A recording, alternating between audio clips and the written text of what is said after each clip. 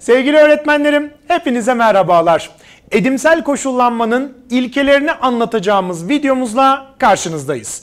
Bir önceki videomuzda edimsel koşullanma kuramına başlamıştık. Tanımından, özelliklerinden, karşılaştırmasından bahsetmiştik sizlere. Şimdi ve bundan sonraki birçok videomuzda da edimsel koşullanma ilkelerinden bahsedeceğiz. Çünkü edimsel koşullanma ilkeleri içerik olarak hem geniş hem de sayı olarak da fazla. Bu yüzden de bu biraz zamanımızı alacak diyebiliriz. Nereye gelmeden önce? Pekiştireçlere gelmeden önce değerli arkadaşlar. Şimdi edimsel koşullanma ilkelerinin ilkiyle arkadaşlarım başlayalım. İlk ilkemiz, birinci ilkemiz yoksunluk mekanizması. Yoksunluk mekanizması diyoruz biz buna. Şimdi nedir yoksunluk? Nedir yoksunluk mekanizması? Şimdi kelimeyi arkadaşlar düşündüğümüz zaman aslında bir şeyler çıkartabiliriz. Yoksun olmak ne demektir? Mahrum olmak demektir. Peki ben bir şeyden yoksun olursam, mahrum olursam ne yaparım? Ona olan ihtiyacım artar. O zaman edimsel koşullanmada yoksunluk mekanizması davranışları biçimlendirmeden önce güdüleme mahiyetinde kullanılabilir. Yani şunu düşünebiliriz arkadaşlar mesela. Şimdi hani program geliştirmede Zeynep hocamız anlatacak zaten sizlere. Hedef, içerik, eğitim durumları, sınama durumları. Hepsi bunların birbirine bağlıydı. Hani vardır ya içerik hedefe bağlıdır, eğitim durumları içerik ve hedefe bağlıdır, sınama durumları hedef, içerik, eğitim durumlarına bağlıdır filan da. Yani hepsi hedefe bağlıdır. Peki hedef neye bağlıdır? Hedef de eğitim ihtiyaçlarına bağlıdır değil mi? İşte burada da böyle arkadaşlar. Bir şeye ihtiyacımız varsa onunla ilgili hedefimiz vardır. Yoksa zaten onunla ilgili herhangi bir hedefimiz yoktur. Mesela eğer senin paraya ihtiyacın yoksa para kazanmak gibi bir hedefin yoktur. İşte temel mantık bu. Yoksunluk mekanizması da böyle bir şey. Yoksunluk mekanizması organizmaya davranışı kazandırmada bir ön koşul aslında. Eğer siz bu ön koşulu doğru kullanırsanız edimsel koşullanmayla organizmanın davranışını biçimlendirmeniz çok kolay olacaktır. O zaman şöyle bir maddeyle başladım. Önce açalım örneklerini konuşacağız zaten. Organizmanın şöyle yapalım. Organizmanın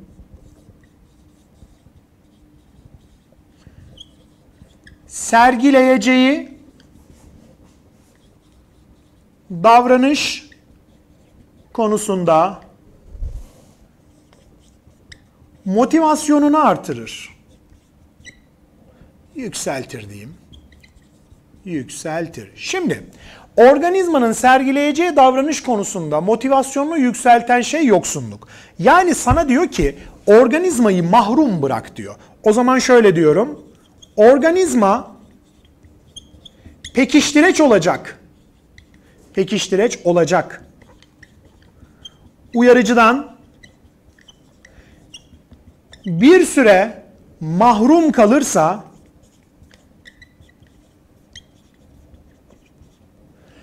pekiştirece ulaşmak için sergileyeceği davranışı yapmak isteyecektir değil mi?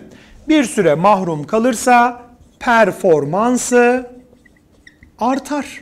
Bak bakış açısına bak şimdi bağlayacağız. Şimdi benim bir şeye olan mahrumiyetim yükselirse, ihtiyacım artarsa ben onu elde etmek için ne yaparım? Yüksek performans sergilerim değil mi?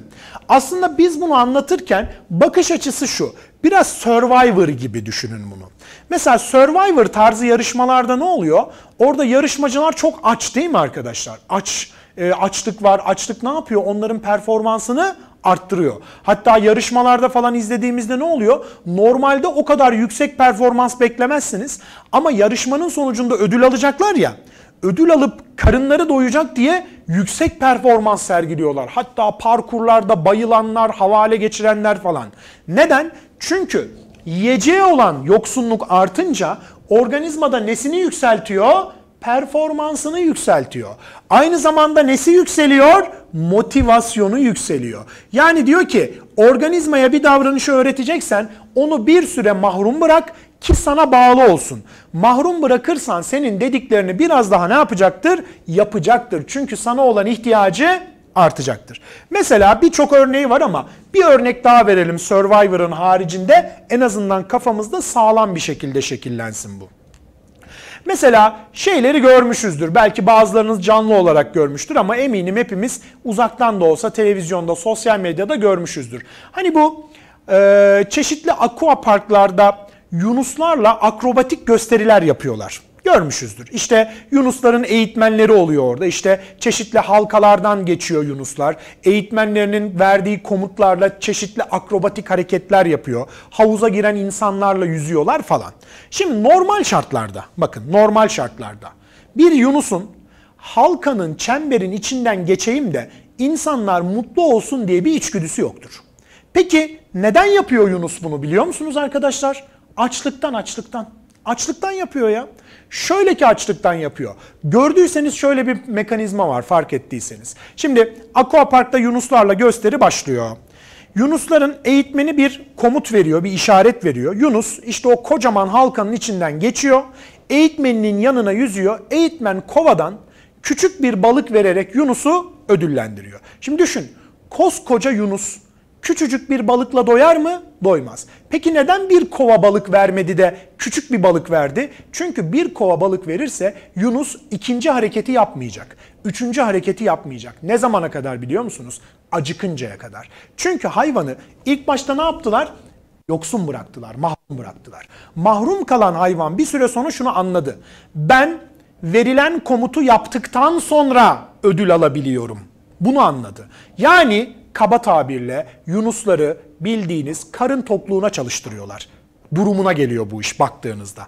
İşin şakası bir yana ama gerçekte bu. Sonuçta doğal ortamından alıyorsunuz bir havuza kapatıyorsunuz. Yunus'un avlanma şansı yok. Tamamen senin vereceğin yiyecekle hayatta kalacak. Ve sen onu öyle bir koşullandırıyorsun ki yoksunluk mekanizmasıyla benim verdiğim komutu yap ben de sana balık vereyim mantığına dayanır yoksunluk mekanizması. Yani neymiş? Yoksunluk arttıkça performans da artıyormuş arkadaşlar. Böyle bir orantısı varmış. Yoksunluk mekanizmasını biz edimsel koşullanmada kullanıyoruz ki dediğim gibi hem motivasyonu hem de performansı arttıralım diye.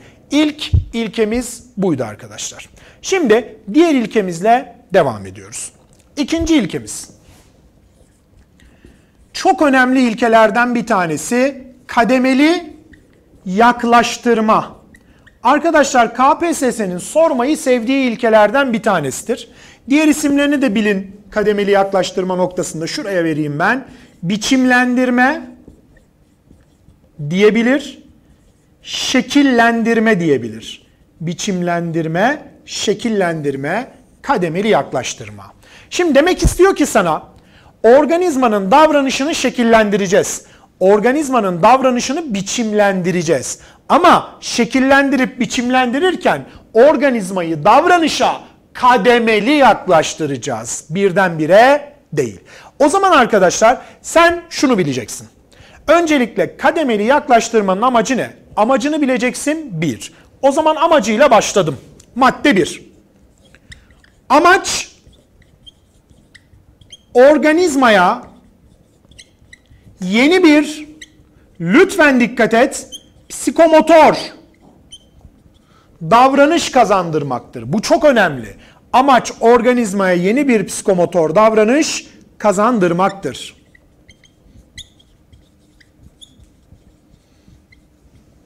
Kazandırmaktır. Şimdi benim amacım bu. Peki hocam ne gibi örnek ver? Hepsini örnekleyelim. Yazı yazmak psikomotor bir eylem. Bisiklet kullanmak psikomotor bir eylem. Yüzmek psikomotor bir eylem. Maket yapmak psikomotor bir eylem. Yemek yapmak psikomotor bir eylem. Araba kullanmak psikomotor bir eylem. O zaman bu verdiğim bir sürü örneğin herhangi bir tanesini sen kademeli yaklaştırma yoluyla organizmaya kazandırabilir misin? Tabii ki de kazandırabilirsin. İşte biz de bunu yapacağız. Amacım bu. Peki bunun örneğine geçmeden önce tarifini vereceğim. Sen bunu nasıl yapacaksın? Bunun aşamaları var.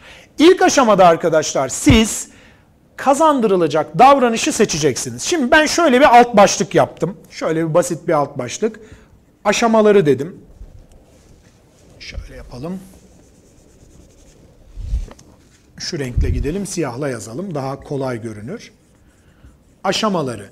Kademeli yaklaştırmanın bir takım aşamaları var. Şimdi bu aşamalara bakacağız. Şimdi ilk aşamada arkadaşlar birinci aşama kazandırılmak. istenilen davranış belirlenir.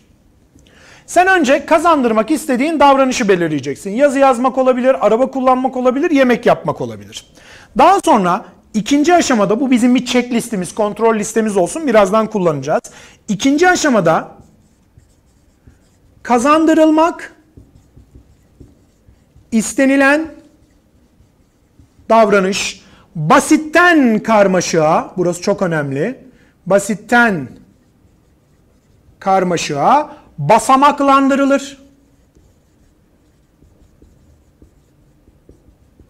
Basitten karmaşığa basamaklandıracaksın. Tamam.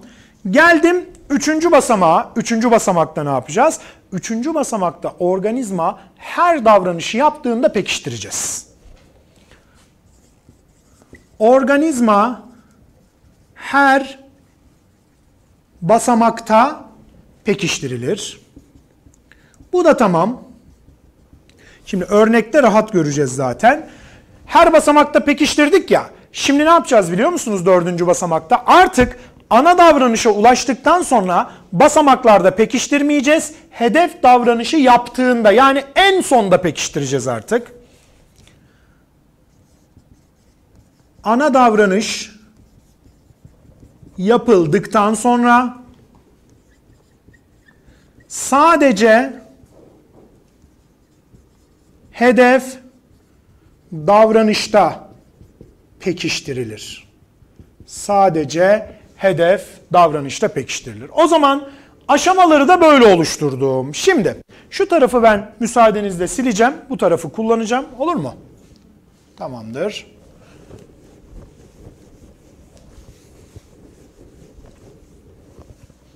Örneğini bu tarafta konuşalım şimdi. Şimdi şuraya bir örnek yapalım arkadaşlar. Kademeli yaklaştırma için örnek. Öbür tarafı özellikle silmedim çünkü bunları kullanacağız biz.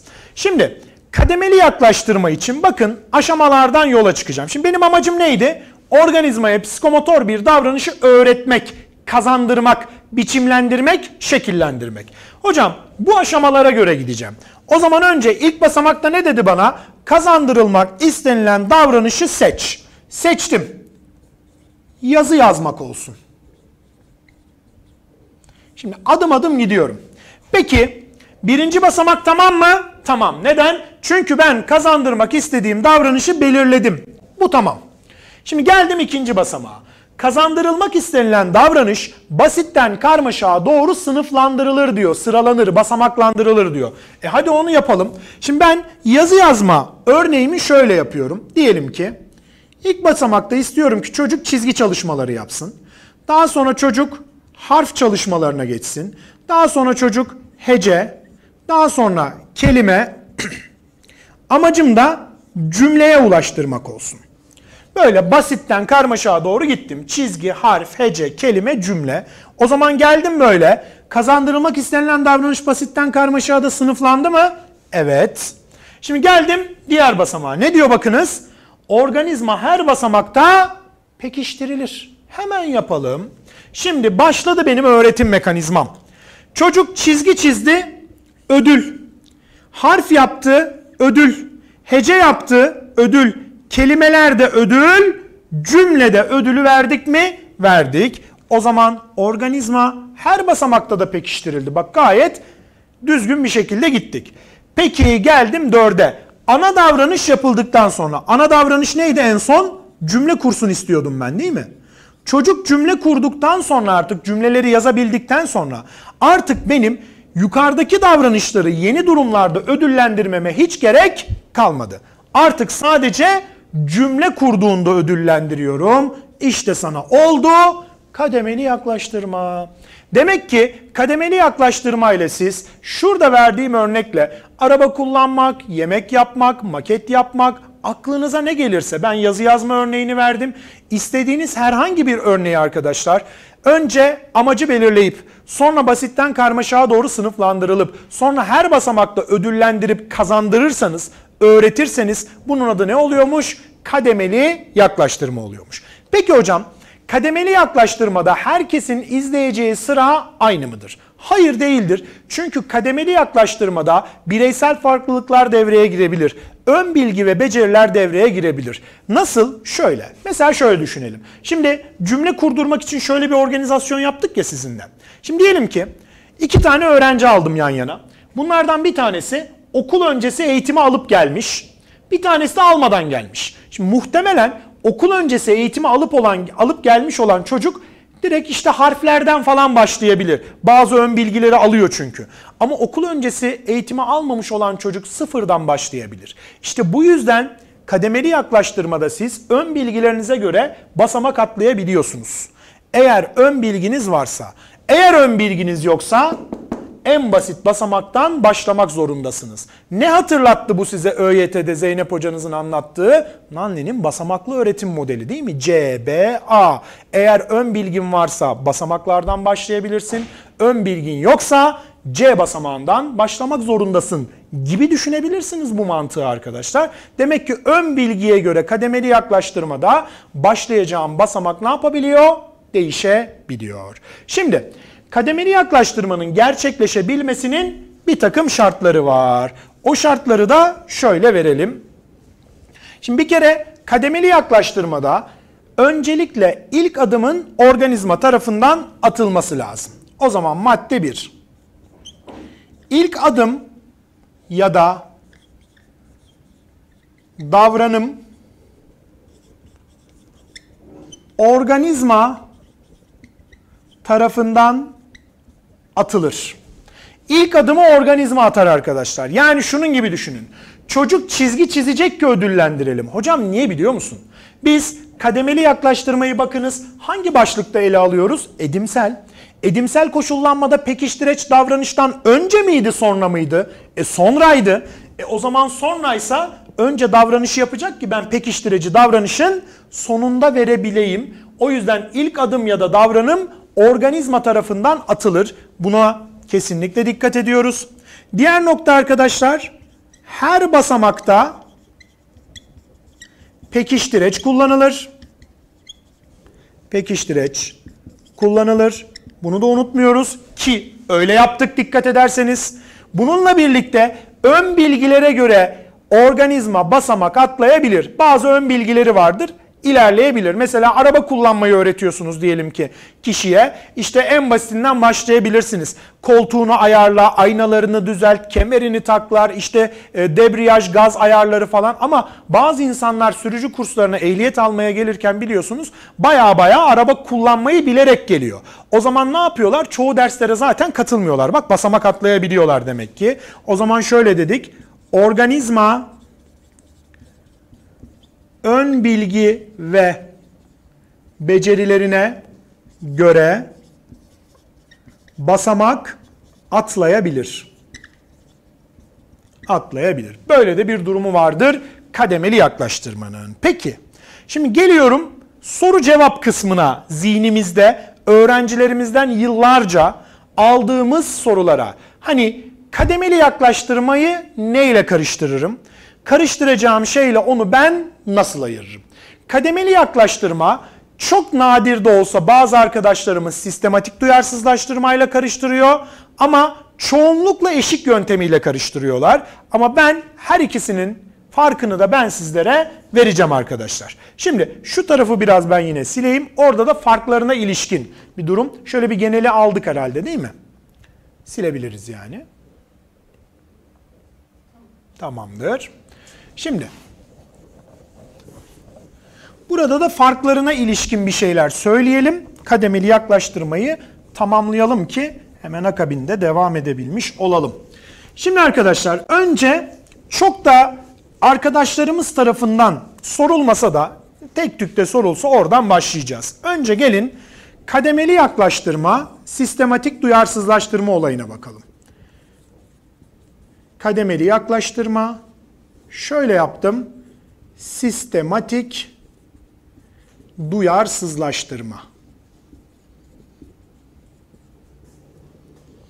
Şimdi kademeli yaklaştırmayla sistematik duyarsızlaştırmayı yan yana koyduk. Hatta biz buraya bir de eşik yöntemini de ekleyelim.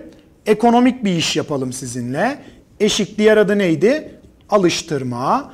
Böylelikle üçünün de karşılaştırmasıyla birlikte farklarını vermiş olalım. Şimdi kademeli yaklaştırmada arkadaşlar önce şuradan gelelim. Duyuşsal bir durum mu var, psikomotor mu? Mesela yazı yazmak duyuşsal mı, psikomotor mu? Psikomotor. O zaman kademeli yaklaştırma psikomotor davranışlarla ilgilenir. Ama sistematik duyarsızlaştırma bak duyarsızlaştırma neyle ilgileniyordu? Korku, kaygı, fobi gibi duygularla ilgileniyordu. O zaman duyuşsal davranışlarla ilgilenir. Bunu da verdik. Bak birisi psikomotor, birisi duyuşsal. Bu farkı verdik. Demek ki birisi psikomotor, birisi duyuşsalsa ayrıldı zaten. Ama şöyle de bir mantığı var. Sistematik duyarsızlaştırmada duyguları yok etmeye çalışıyorum. Hani duyarsızlaştırma olduğu için. Bak duygular yok edilmeye çalışılır. Ama burada arkadaşlar psikomotor davranış öğretilmeye çalışılır. Yani birinde yok etmeye çalışıyorsun, birinde öğretmeye çalışıyorsun. Böyle de bir durumum var. Bunu da tamamladım. Yani şunu söyleme, hiç baştan söyleyeyim. Hocam sistematik duyarsızlaştırmada pekiştireç yok diyebilir miyiz? Tabii ki de diyebilirsin ama deme. Neden deme? Çünkü zaten duyguları yok etmeye çalışıyorsun. Bir şey yok edilirken zaten pekiştireç kullanılmaz. O yüzden burada pekiştirme zaten vermiyorum. Burada her basamakta veriyorum. O farkı eşikle kullanacağım ben. Peki hocam sistematik duyarsızlaştırmayla e, kademeli yaklaştırmanın farkını anladım. Birisi duyguları yok ediyor, birisi psikomotor davranışlarla ilgilenip organizmaya psikomotor davranışları öğretiyor, kazandırıyor. Burada tamamım. Peki kademeli yaklaştırma ile eşik farkı ne? Sonuçta eşikte de psikomotor davranışlar var mı? Var, ortak özellik. Ama arkadaşlar eşikte şöyle bir şey yok. Organizmaya davranış öğretilmez. Davranışa alıştırma yapılır. Hatırla ne demiştik? Çocuk pekmez yemeği bilmiyor değil. Pekmez yemeği istemiyor arkadaşlar. Annesi ne yapıyordu? Çay kaşığının ucuyla, daha sonra çay kaşığıyla, tatlı kaşığıyla, yemek kaşığıyla, kepçesiyle, bidonuyla dayıyordu çocuğa değil mi? Azar azar ne yapıyordu? Arttırıyordu. Çocuğa pekmez yemeği öğretmiyordu. Çocuk biliyor zaten nasıl yeneceğini. Sadece pekmez yemeye onu alıştırıyordu. Ama buna karşın kademeli yaklaştırmada bak yazı yazmak demiştik hatırlarsan öğretiyoruz. Olmayan bir şey öğretiyoruz. Bir de eşik yönteminde ben size anlatırken önceki videolarda kesinlikle pekiştireç kullanılır dedim mi? Hayır. O zaman işte ikinci temel fark pekiştireç kullanılmaz. Ama buna karşın kademeli yaklaştırmada her basamakta ne vardı? Pekiştireç vardı diyebiliriz. Pekiştireç kullanılır. O zaman toparlayalım burayı tekrar. Demek ki kademeli yaklaştırma psikomotor davranışlarla ilgileniyormuş 1. Kademeli yaklaştırma psikomotor davranışı öğretmek için kullanılıyormuş 2. Ve öğretirken de her basamakta pekiştireç kullanıyormuşum. Eşik yönteminde öğretmiyorum ve pekiştireçte kullanmıyorum. Sadece alıştırıyorum ya da alışkanlığını bastırmaya çalışıyorum. Sistematik duyarsızlaştırma ile kademeli yaklaştırmayı yan yana koyduğumda yine kademeli yaklaştırma psikomotor davranışlarda kullanılıyor ve öğretme mekanizmasında var. Ama sistematik duyarsızlaştırma yok etme, ortadan kaldırma gibi bir durumla karşımıza çıkıyor değerli arkadaşlar. Evet, yoksunluk mekanizması bir, kademeli yaklaştırma 2 dedik. Bu şekilde arkadaşlar bu iki kavramı sizlerle tamamlamış olduk. Şimdi kademeli yaklaştırmanın hemen akabinde işte zincirlemeden bahsedeceğiz, sönmeden bahsedeceğiz. Bu şekilde tamamlayacağız. Ama bu videoyu burada tamamlayıp bir sonraki videoda arkadaşlar zincirleme ve sönme, davranışın topografyası gibi kavramlarla devam ediyor olacağız. Bir sonraki videoda görüşmek üzere, hoşçakalın.